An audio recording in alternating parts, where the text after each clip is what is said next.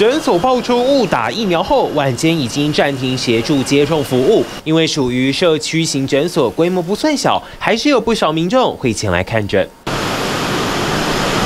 从诊所跑马资讯来看，他们协助附近住户接种相当多种疫苗，恐怕也是因此才发生误打状况。十一月十六，一位民众本来是要来接种流感疫苗，结果诊所误把他注入了莫德纳。好家在民众第一剂是打 A Z，被误打莫德纳这一天，也已经跟第一剂间隔满九周，风险相对低，刚好也还没接种 COVID-19 疫苗的第二剂。保险起见，诊所十一月十八到二十四号这段期间，流感疫苗跟新冠疫苗都将先暂停接种，一共有两百九十二位民众会受到影响，全转到其他医疗院所施打。之所以会发生错打，据了解是护理人员在核对上失误，诊所在发现之后也有按照流程通报。北市卫生局再提醒人员协助接种前务必要三读五对，确认疫苗厂牌、剂量跟效期，避免误打状况再发生。新闻。李明辉、瑞台报道，请支持 TVBS 国际 Plus 全新频道，让您扩大视野，掌握趋势，接轨全世界。恳请订阅，